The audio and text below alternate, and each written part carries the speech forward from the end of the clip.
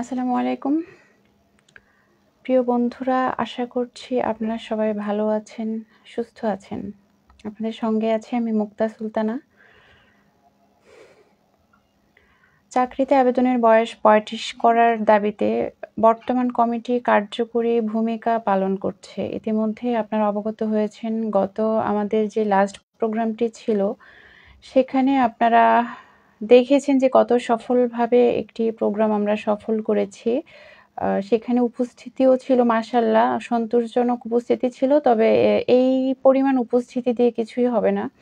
আমাদের আসলে জনসমুদ্রে পরিণত করতে হবে। শাহবাগ প্রজন্ম চত্বরকে জনসমুদ্রে জনসমুদ্রে রূপান্তর করতে হবে, জনসমর্থন দেখাতে হবে। আপনারা জানেন যে সেন্ট্রাল কমিটিতে যারা আছেন এবং ঢাকা বিশ্ববিদ্যালয় থেকে, ল বিভাগ থেকে এলএলবি এবং এলএলএম সম্পন্ন করা শরীফুল হাসান শুভ ভাই, তিনি কিন্তু অত্যন্ত গুরুত্বপূর্ণ ভূমিকা পালন করছেন, কূটনৈতিক যোগাযোগ অব্যাহত রেখেছেন। আজকেও একটি সফল কূটনৈতিক যোগাযোগ সম্পন্ন হয়েছে এবং এর আগে জনপ্রশাসন মন্ত্রণালয়ে একটি টিম আমি সহ একটি টিম জনপ্রশাসন প্রতিমন্ত্রী জনাব ফরহাদ হোসেন স্যারের সাথে আমরা সাক্ষাৎ করেছি। তিনি বিষয়টি দেখবেন বলে আমাদের আশ্বস্ত করেছেন। আশা করছি আসলে এই বিষয়টা তো সার্বিকভাবে সম্পূর্ণ আমাদের জননেত্রী যিনি আছেন, মাননীয় প্রধানমন্ত্রী শেখ হাসিনা, তিনি বিস্তারিত বিষয় দেখভাল করেন। আসলে তার মানে আমাদের এখন জনসমর্থন দেখাতে হবে। পরবর্তী যে পদক্ষেপ আছে, পরবর্তী কর্মসূচি আছে, পরবর্তী বড় যে সমাবেশ হবে, সেই সমাবেশকে সফল করার জন্য টিম ইতিমধ্যেই কিছু কর্মপরিকল্পনা করেছে। এর মধ্যে ঢাকা বিশ্ববিদ্যালয়ের ঢাকা বিশ্ববিদ্যালয়ে সংবাদ সম্মেলন সহ ঢাকা বিশ্ববিদ্যালয়ে কিছু টিম মেম্বার্স যারা ঢাকায় অবস্থান করবেন, যারা আসতে পারবেন, তাদেরকে নিয়ে ঢাকা বিশ্ববিদ্যালয়ের রাজু ভাস্কর্য থেকে শহীদ মিনার পর্যন্ত পদযাত্রার একটা ব্যবস্থা গ্রহণ করেছে এবং মুখাভিনয়ের মাধ্যমে পঁয়ত্রিশকে রিপ্রেজেন্ট করা হবে। তাছাড়াও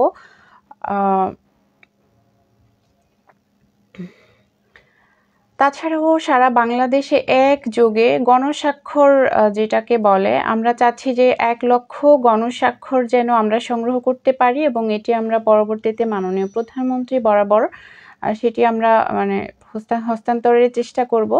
আপনাদের সার্বিক সহযোগিতা, আপনাদের অংশগ্রহণ প্রত্যাশা করছি।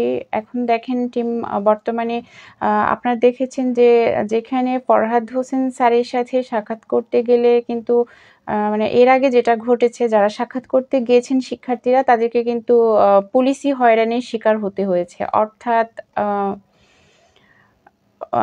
তার কাছে যাওয়ার এক্সেস এই থার্টি ফাইভ মুভমেন্ট নিয়ে অনেকেই গিয়েছিলেন। এর ইতিপূর্বে তারা কিন্তু পুলিশি হয়রানিরও শিকার হতে হয়েছে তাদেরকে।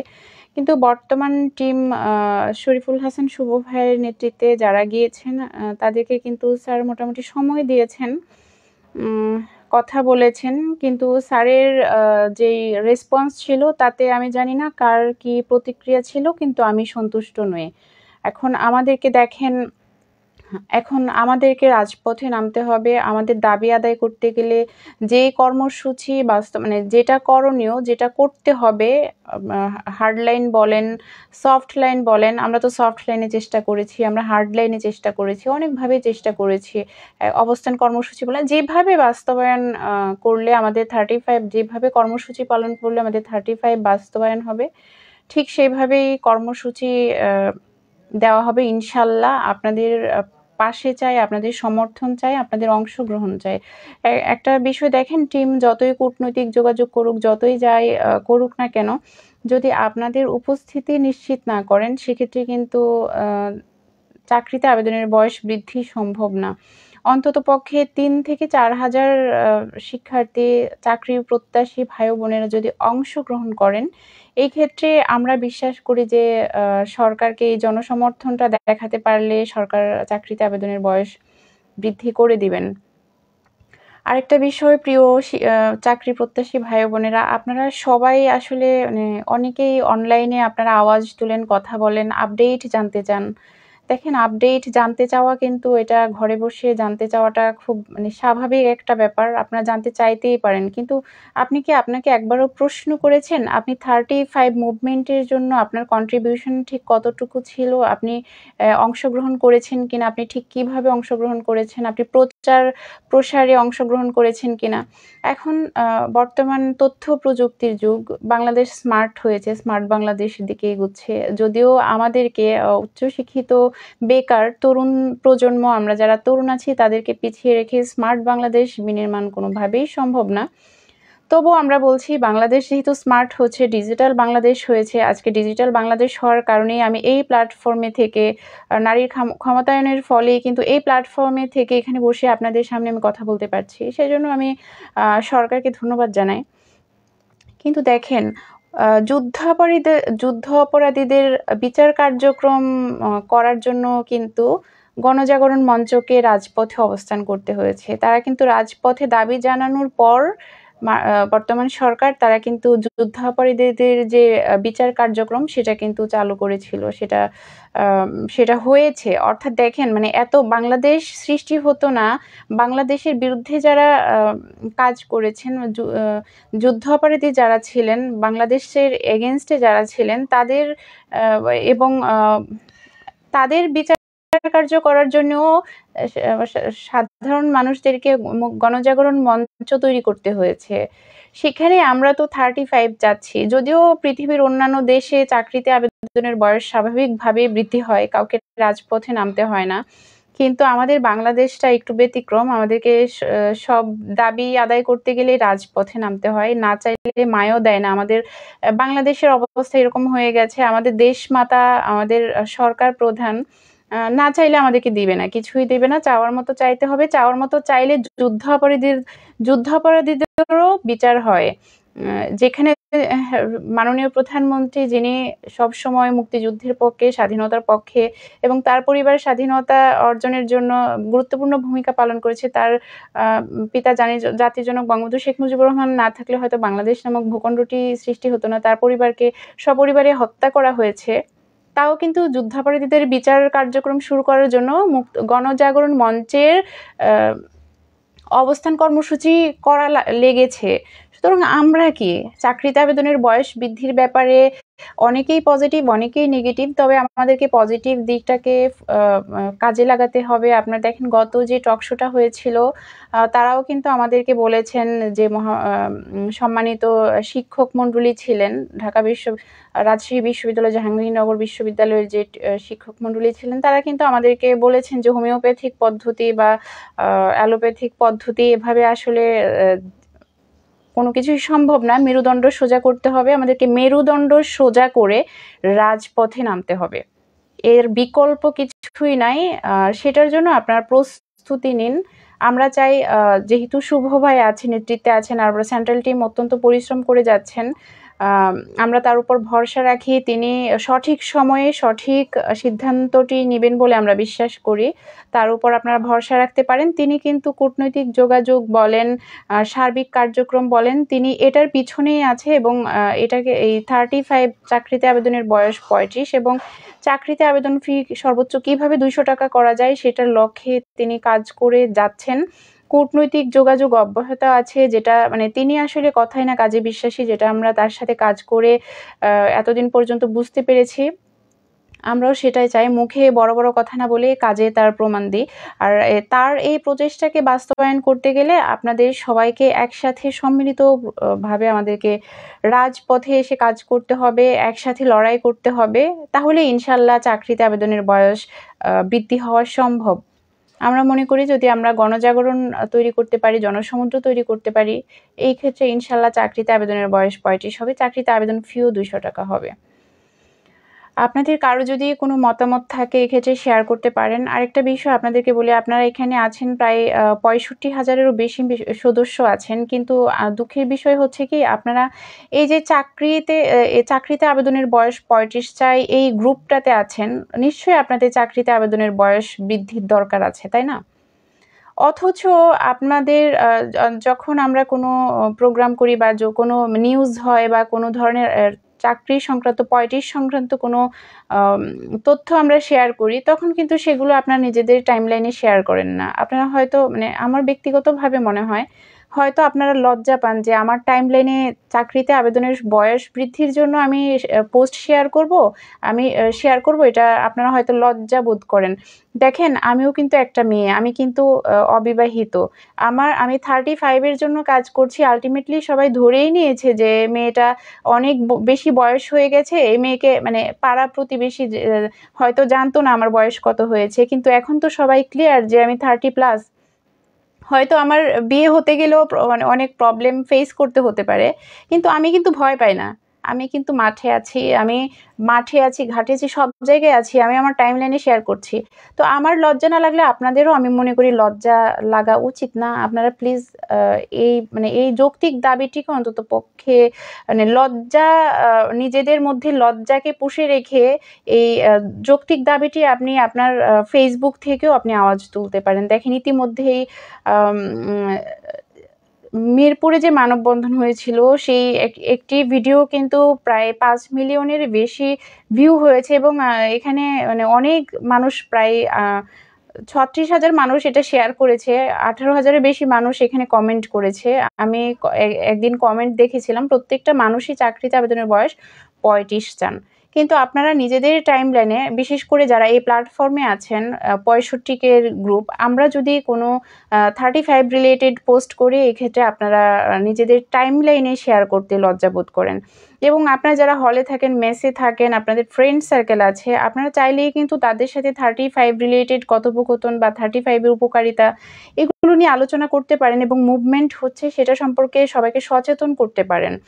কিন্তু এটা আপনারা করছেন না, এটা করা উচিত। আজকে দেখেন পঁয়ষট্টি হাজারের পরিবার আমরা, কিন্তু যখন রাজপথে আমাদেরকে নামতে হয়, আমরা পাঁচশো এক হাজারের বেশি মানুষ আমরা কিন্তু দেখি না।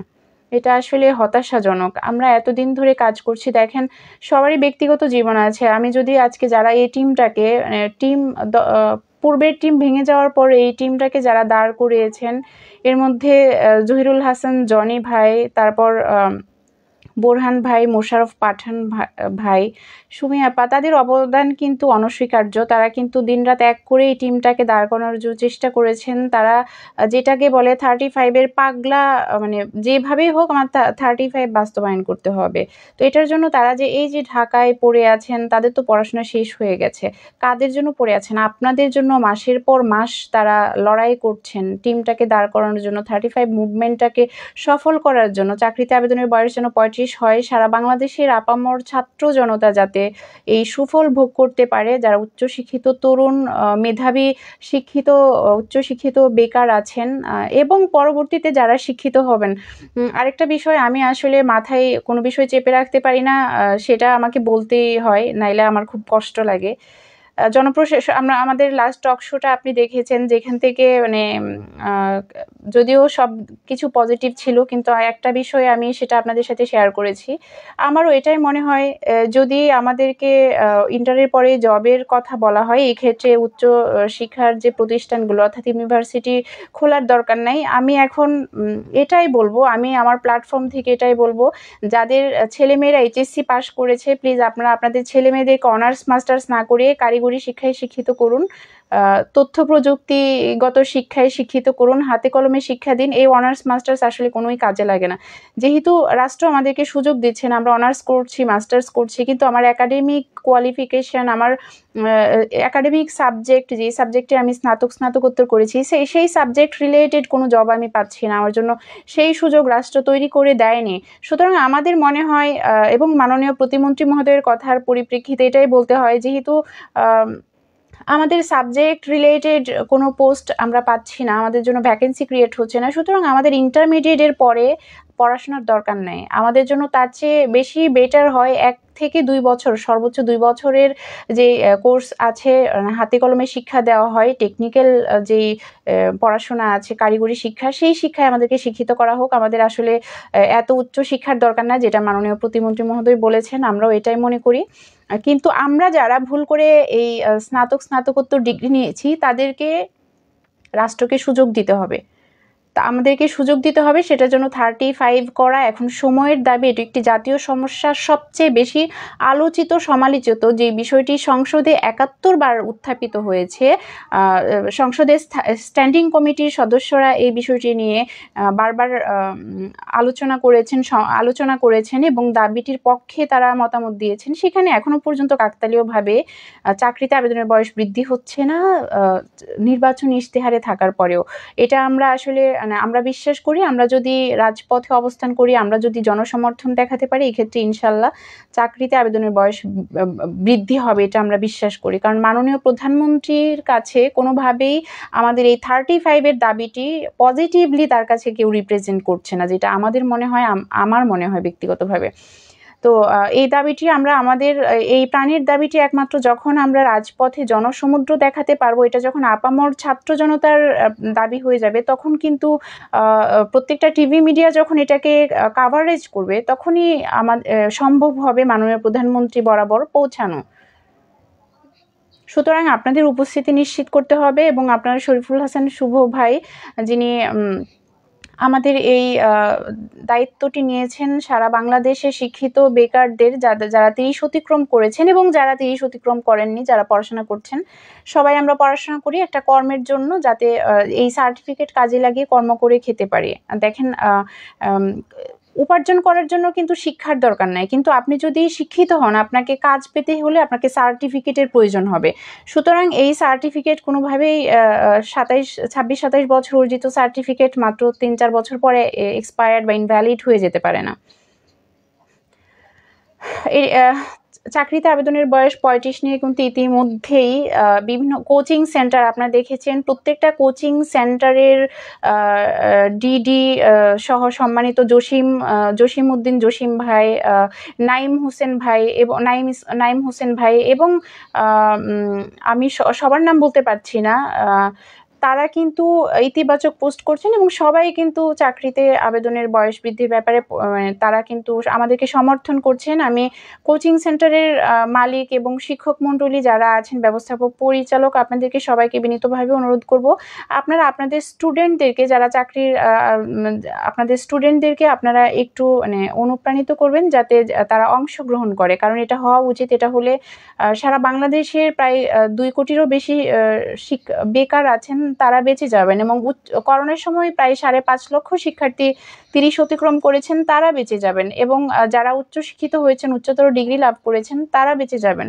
একটা প্রজন্ম বেঁচে যাবে। আমরা এই অভিশাপ থেকে মুক্তি পেতে চাই, আমরা এই অভিশপ্ত জীবন থেকে মুক্তি পেতে চাই। এটার জন্য আপনি আপনার জন্য না, আপনার পরবর্তী প্রজন্মের জন্য আসুন।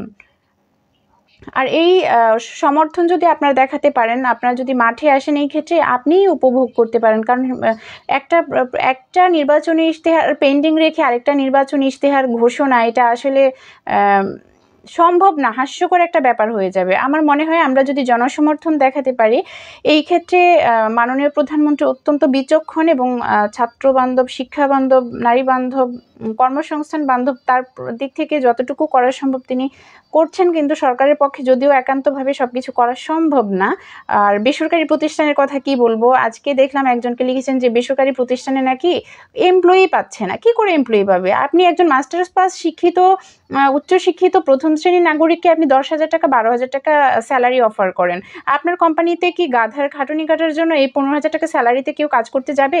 একজন সিএনজি ড্রাইভার যেখানে মাসে তিরিশ হাজার টাকা ইনকাম করেন। একজন রিক্সা চালক যিনি মাসে তিরিশ হাজার টাকা ইনকাম করেন, একজন ঝালমুড়িওয়ালা যেখানে মাসে তিরিশ থেকে চল্লিশ হাজার টাকা ইনকাম করেন, যাদের শহরে তিনতলা, চারতলা, পাঁচতলা বাড়ি আছে।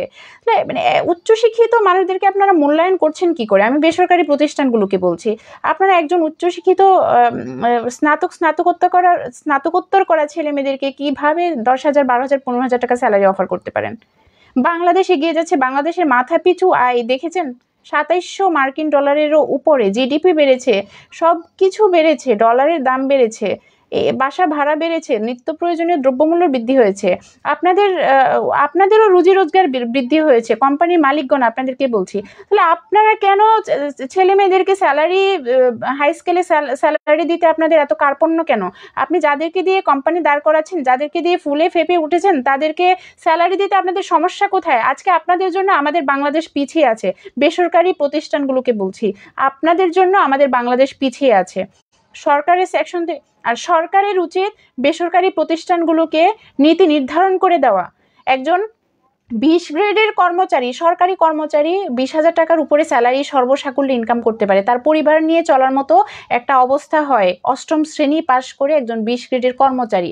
আর আজকে দেখেন আমরা যখন সর্বোচ্চ শিক্ষা, সর্বোচ্চ ডিগ্রিধারী, তখন যখন আমরা একটা প্রাইভেট কোম্পানিতে ইন্টারভিউ দিতে যাই, আমাদেরকে পনেরো হাজার টাকা, বারো হাজার টাকা, দশ হাজার টাকা পর্যন্ত অফার করা হয়। আপনি দেখেন Robi Axiata Limited Airtel Bangladesh Limited Digicon Technologist Limited এছাড়া হচ্ছে হচ্ছে আরও অনেক প্রতিষ্ঠান আছে নাম করা প্রতিষ্ঠান যারা মানে বিভিন্ন মানে মাদার কোম্পানিগুলোর সাথে মার্জ হয়ে কিংবা তাদের সাথে মানে থার্ড পার্টির ন্যায় যারা কাজ, ভূমিকা পালন করছেন, যেমন Digicon Technologist Limited Airtel Bangladesh Limited তাছাড়াও আছে আরও বেশ কিছু কোম্পানি আছে, আমি প্রত্যেকটা কোম্পানির নাম বলতে পারছি না। এটাই হচ্ছে যারা মাদার কোম্পানি থেকে তারা একটি সত্ত্ব কিনে নিয়ে তারা এমপ্লয়ীদেরকে তারা তারা এমপ্লয়ীদেরকে পঁয়তাল্লিশ টাকায় ঘন্টায় কাজ করাচ্ছে। এটা কি ধরনের প্রহসন? আপনি দেখেন রবি যখন দু বারো সালে যখন রবিতে ছেলেমেয়েরা কাজ করতো, তখন তাদেরকে একশো আঠারো টাকা ঘণ্টা করে দেওয়া হতো। যে কোনো স্টুডেন্ট চাইলে পড়াশোনার পাশাপাশি এরকম একশো আঠারো টাকা ঘণ্টা হলে একটা স্টুডেন্ট ইজিলি চলতে পারে। সেটা দু হাজার বারো সালের ঘটনা। আজকে দু হাজার তেইশ সাল। এখন কেন ছেলে মেয়েদেরকে তেতাল্লিশ টাকা ঘন্টায় আপনারা চাকরি দিচ্ছেন? এটা কি ধরনের প্রহসন? যেখানে দু হাজার আঠারো সালে যখন রবি মাদার কোম্পানি ছিল, তখন একশো আঠারো টাকা ঘণ্টা কি করে দিত? এখন আপনারা আঠারো টাকা ঘণ্টা পঁয়তাল্লিশ টাকা ঘণ্টা দিচ্ছেন কেন? উচ্চশিক্ষিত তরুণদের কোনো মূল্যায়ন হচ্ছে না, মেধাবীদের মূল্যায়ন হচ্ছে না। গাধার খাটুনি খাটাচ্ছে, কিন্তু স্যালারি দিচ্ছে না। এই পরিমাণ স্যালারি দিয়ে একটা মানুষ চলতে পারে, মানসিক অবসাদ থেকে ছেলে মেয়েগুলো আত্মহত্যা করছে। আজকে যদি বেসরকারি কোম্পানিগুলো যদি একটা গ্রেডিং সিস্টেমে স্যালারি চালু করতো, তাহলে এই যে আমরা আছি, আমরা সরকারি চাকরির পিছনে ছুটতাম না। বিশ্বাস করেন, আমাদের সেফটি নাই সিকিউরিটি নাই, আর এই স্যালারিতে যেখানে সরকার একটা অ্যাট্রাকটিভ স্যালারি দিচ্ছেন, সেখানে বেসরকারি প্রতিষ্ঠানগুলো নামে মাত্র স্যালারিতে কর্মীদের দিয়ে বারো ঘণ্টা, চোদ্দ ঘণ্টা খাটায় নিচ্ছে। এটা কেন? কেন সরকার কোনো নীতিমালা তাদেরকে বেঁধে দিচ্ছে না? কেন বেসরকারি প্রতিষ্ঠানগুলোর জন্য স্বাধীনতার পঞ্চাশ বা বান্ন বছর পরেও কোনো নীতি নির্ধারণ কেন করা হয়নি? আমরা চাইব বেসরকারি প্রতিষ্ঠানগুলোকে বাধ্যতামূলকভাবে যেন তাদের গ্রেডিং সিস্টেমে স্যালারি একজন এইচএসসি পাস কর্মীর কীরকম স্যালারি হবে? একজন স্নাতকোত্তরধারী কর্মীর কী ধরনের স্যালারি হবে? একজন পোস্ট গ্রাজুয়েশনধারীর কী ধরনের স্যালারি হবে? সেটা সরকারকে বেঁধে দেওয়া উচিত। আপনারা কি শুনছেন? আপনাদেরকেই বলছি, এটা বেঁধে দেওয়া উচিত। তাহলে আমরা হুমড়ি খেয়ে সরকারি চাকরির পিছনে ছুটবো না। আর অবশ্যই চাকরিতে আবেদনের বয়স পঁয়ত্রিশ করা সময়ের দাবি যেখানে বিশ্ব নীতি বিশ্বের একশো তিরানব্বইটা দেশের মধ্যে একশো বাষট্টিটা, একশো পঁয়ষট্টিটা দেশে চাকরিতে আবেদনের বয়স পঁয়ত্রিশ। আফগানিস্তানের মতো দেশেও চাকরিতে আবেদনের বয়স পঁয়ত্রিশ এবং শ্রীলঙ্কার মতো দেউলিয়া দেশেও চাকরিতে আবেদনের বয়স পঁয়ত্রিশ। তাহলে আমরা কোথায় আছি? আমরা কোন স্মার্ট বাংলাদেশে আছি? আমরা কোন ডিজিটাল বাংলাদেশে আছি? আমাদের দেশে মাথা পিছু আয় কীভাবে সতেরোশো সাতাইশশো প্লাস ডলার হয়? যেই বাংলাদেশে সাতাইশশো প্লাস মার্কিন ডলার মাথা পিছু আয়, সেই বাংলাদেশের হাজার হাজার, লক্ষ লক্ষ, কোটি কোটি বেকার থাকবে কেন? এমডি আলামিন বর্তমানে ছোট বড় কোম্পানিতে জব করার পরিবেশ নেই, কুকুরের মতো আচরণ করা হয় কর্মীদের সঙ্গে। একদম ঠিক বলেছেন, একদম ঠিক বলেছেন। এটা নিয়ে সবার মাঠে আসা উচিত, এটা নিয়ে সবার কথা বলা উচিত। এই পদ্ধতি বেশি দিন চলতে পারে না। এই পদ্ধতির বিরুদ্ধে সবাইকে কথা বলতে হবে।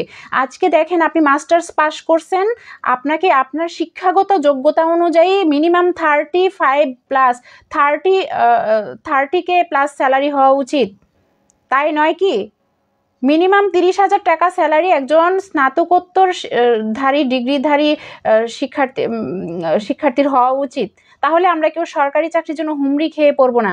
আমাদের সেফটি সিকিউরিটি নিশ্চিত করা উচিত। ভাই বোনেরা, আপনারা নিজেদের ভালো, নিজেরা যদি বোঝেন বেশি আর বলব না, সবাই টাইমলাইনে শেয়ার করার মন মানসিকতা রাখেন। আমাদের যে থার্টি ফাইভ রিলেটেড আপনাকে সব গণহারে শেয়ার করতে হবে এমন না। আপনার আপনার যেটা মনে হবে যে থার্টি ফাইভ রিলেটেড এই পোস্টটি আমার শেয়ার করা উচিত, আপনি সেটা শেয়ার করেন। আপনার ফ্রেন্ড সার্কেল আত্মীয় স্বজন সবাইকে জানিয়ে দেন যে থার্টি ফাইভ কেন দরকার? থার্টি ফাইভ হওয়া উচিত। আপনার সাতাইশ বছর অর্জিত সার্টিফিকেট কোনোভাবে মাত্র তিন থেকে চার বছরে ইনভ্যালিড হয়ে যেতে পারে না। সার্টিফিকেট কোনো প্যাকেটজাত পণ্য নয় যে এটা মেয়াদ শেষ হয়ে গেলে আর ব্যবহার করা যাবে না। এটা যদি জানতাম আমি পড়াশোনা করতাম না। এবং আমি এখন সবাইকে ব্যক্তিগতভাবে আমি সবাইকে বলব, আপনারা ইন্টারমিডিয়েটের পরে এসএসসির পরে পড়াশোনা বন্ধ করে দিয়ে কারিগরি শিক্ষা নিন। এই বাংলাদেশে উচ্চশিক্ষিত হয়ে কোনো লাভ নাই। আজকে সপ্তম শ্রেণির বই লেখার জন্যও সপ্তম শ্রেণির একটা বই, একটা চ্যাপ্টার ছাপানোর জন্য গুগল ট্রান্সলেটরের সাহায্য নিতে হয়। বাংলাদেশে গবেষক তৈরি হয় না, বাংলাদেশে বিজ্ঞানী তৈরি হয় না, বাংলাদেশে ডাক্তার তৈরি হয় না। দেখেন, প্রতি বছরই বাংলাদেশ থেকে লক্ষ লক্ষ মানুষ ইন্ডিয়াতে যাচ্ছে ট্রিটমেন্ট নেওয়ার জন্য। বাংলাদেশে ভালো মানের ডাক্তার তৈরি হয় না কেন? বাংলাদেশে ভালো মানের ইঞ্জিনিয়ার তৈরি হয় না কেন? বাংলাদেশে ভালো মানের গবেষক তৈরি হয় না কেন? বাংলাদেশে বিজ্ঞানী তৈরি হয় না কেন? ইন্ডিয়া থেকে ভুরি ভুরি ক্যান্ডিডেট এনে বাংলাদেশে চাকরি দেওয়া হয়েছে।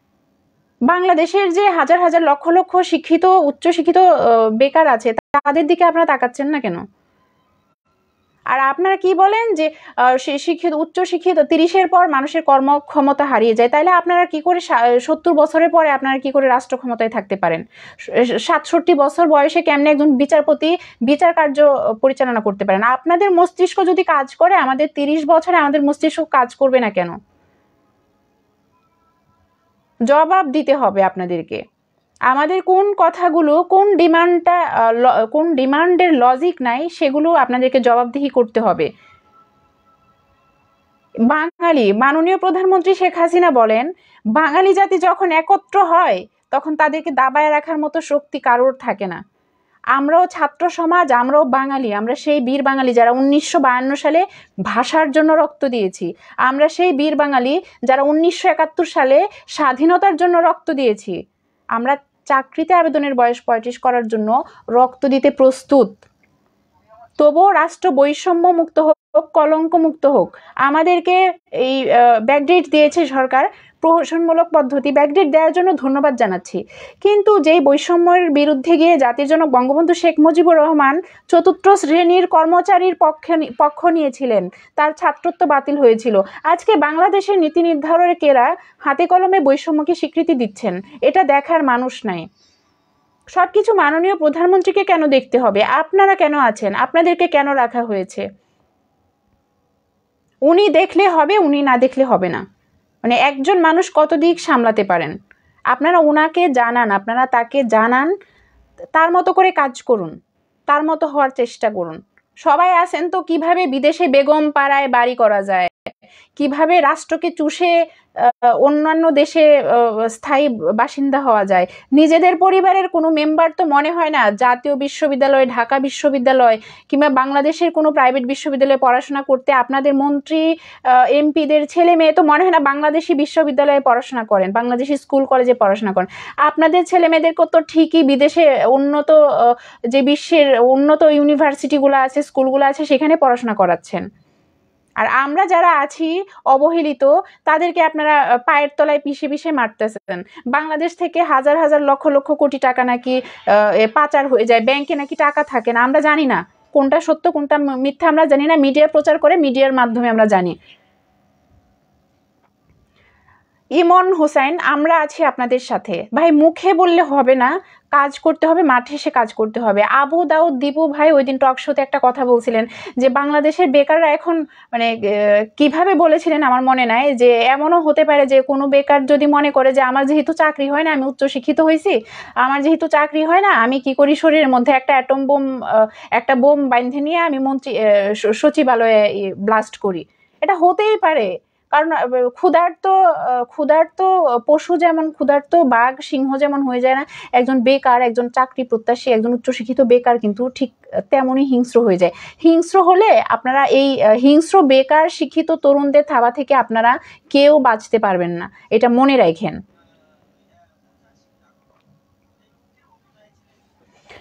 Shoaib Akhtar, bank, BCS, coaching সেন্টারগুলোর কর্তৃপক্ষের প্রতি আহ্বান, আপনারা পঁয়ত্রিশের পক্ষে মতামত দিন। হ্যাঁ সবাইকে অসংখ্য ধন্যবাদ এবং যারা এতক্ষণ লাইভটি দেখেছেন আমি সবাইকে বলব লাইভটা শেয়ার করে দিন নিজেদের টাইম লাইনে শেয়ার করুন। এটাই শেয়ার করতে হবে, বিষয়টা এমন না, কিন্তু আপনাদের পছন্দ অনুযায়ী থার্টি ফাইভ রিলেটেড যে কোনো পোস্ট আপনারা, আপনাদের নিজের টাইম লাইনে শেয়ার করার মানসিকতা রাখুন, কারণ দাবিটা তো আপনারও। দাবিটা আপনার, আমার, আমাদের সকলের এবং আমাদের পরবর্তী প্রজন্মের জন্য। সবাই লাইভটা শেয়ার করুন এবং বর্তমান কমিটি খুবই স্ট্রং এবং খুবই সুনিপুণভাবে সাংগঠনিক প্রক্রিয়ায় কাজ করে যাচ্ছেন। আপনারা মাঠে আসুন, রাজপথের যে পরবর্তী কর্মসূচি আছে। আমরা এটা নিয়ে আসলে এত সময় নষ্ট করার সময় কারোর নেই। যা প্রত্যেকেরই ব্যক্তিগত জীবন আছে। আমি যেটা বলছিলাম, যারা সেন্ট্রাল টিমে কাজ করছেন জনি ভাই, বুরহান ভাই মোশারফ পাঠান ভাইয়েরা, তারা কিন্তু তাদের ব্যক্তিগত জীবন ভুলে গেছেন। আমি নিজেও আমার ব্যক্তিগত জীবন ভুলে গেছি। এখন থার্টি ফাইভ ছাড়া মাথায় আর কোনো কিছু কাজ করে না। আমাদেরও তো ব্যক্তিগত জীবন আছে, আমাদের তো লাইফ নিয়ে ভাবতে হবে। আপনাদের এই দায়িত্ব মাথায় নিয়ে আমরা সারা জীবন ঘুরতে পারব না। আপনারা যদি মাঠে আসেন, এক্ষেত্রে আমরা যে পরিশ্রম করছি এবং শুভ ভাই যে মহান দায়িত্বটি তার কাঁধে নিয়েছেন মানে আমরা সবাই সার্থক হব। আমাদের এই কষ্ট সার্থক হবে যদি আপনারা মাঠে আসেন একটা দিনের জন্য। চাকরি পরীক্ষা মনে করে মাঠে আসবেন। কি বলেন? সবাইকে অসংখ্য ধন্যবাদ লাইভ দেখার জন্য। সবসময় সাথে থাকবেন এবং পরবর্তী যে কর্মসূচিগুলো হবে, সেটার আপডেট গ্রুপে জানিয়ে দেওয়া হবে। সবাই উপস্থিতি নিশ্চিত করবেন। অর্থাৎ ছোট যে প্রোগ্রামগুলো আছে পরবর্তী সমাবেশকে সফল করার জন্য, সেই প্রোগ্রামে আপনারা দূর দূরান্ত থেকে যারা পরীক্ষা দিতে আসবেন, তারা আসতে পারেন। সবাইকে আসার মানে সবাই আসার দরকার নেই, বাধ্যতামূলক না কিন্তু যে যেই প্রোগ্রামগুলো যেই যেই প্রোগ্রামগুলো মানে সমাবেশ আকারে শাহবাগ প্রজন্ম চত্বরে হবে, সেই সমাবেশে আমরা আপনাদেরকে বলব অবশ্যই অবশ্যই অবশ্যই একদম বাচ্চা থেকে শুরু করে সত্তর বছরের নাগরিক পর্যন্ত আসতে পারেন। কারণ এই দাবিটা শুধু এখন আমাদের শিক্ষার্থীদের দাবি না, বেকারদের দাবি না, উচ্চশিক্ষিত বেকারদের দাবি না। এটা সারা বাংলাদেশের তরুণ প্রজন্ম একদম তরুণ থেকে শুরু করে বৃদ্ধ পর্যন্ত সবারই দাবি। কারণ সবারই সন্তান আছে। আজকে যার সন্তান মাস্টার্স কমপ্লিট করার পর বয়স শেষ হয়ে যাওয়ার কারণে চাকরি পান নাই, তাদেরও তো দাবি, তাই না? তারা কি চান না তাদের সন্তান তিরিশ বছর পঁয়ত্রিশ বছর হলে তারা দেশের নিয়ম অনুযায়ী তারা চাকরিতে বা কর্মে প্রবেশের সুযোগ পাবে? তারাও তো চান তাদের সন্তান চাকরি করুক, কর্ম করুক। সুতরাং এটা সবারই দাবি। এবং যারা ছোট বাচ্চা তাদেরও দাবি, তারাও তো পড়াশোনা করছে। একটা সময় তাদেরকে যখন তিরিশের ফ্রেমে আটকে রাখা হবে, তখন তারাও ক্ষতিগ্রস্ত হবে। সবারই দাবি, সুতরাং সবাই আসুন, আপনার ছেলে মেয়ের কথা চিন্তা করে আসুন, নিজের কথা চিন্তা করে আসুন, ভাই বোনের কথা চিন্তা করে আসুন, পরবর্তী প্রজন্মের কথা চিন্তা করে আসুন।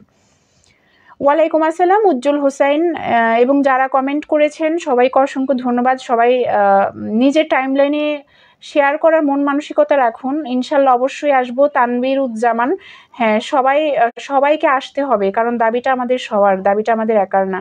অসংখ্য ধন্যবাদ এতক্ষণ সঙ্গে থাকার জন্য। সবাই ভালো থাকবেন, সুস্থ থাকবেন এবং পরবর্তী সমাবেশ সমাবেশে যা যা মানে আপডেট আছে আমরা জানিয়ে দেব। পরবর্তী সমাবেশে সকলের উপস্থিতি, অর্থাৎ আমরা চাই মিনিমাম যেন পঁয়ষট্টি হাজারের পরিবার, আমরা তো ষাট হাজার বাদ দিয়ে পাঁচ হাজার আসতে পারি, তাই না? আমরা সেই পাঁচ হাজারকে প্রত্যাশা করছি। আপনারা যেন সশরীরে মাঠে এসে চাকরিতে আবেদনের বয়স পঁয়ত্রিশ করে ঘরে ফিরেন। এটাই আমরা চাইব। ধন্যবাদ, সুস্থ থাকবেন, ভালো থাকবেন, নিরাপদে থাকবেন। ইনশাল্লাহ রাজপথে দেখা হবে। আসসালামু আলাইকুম।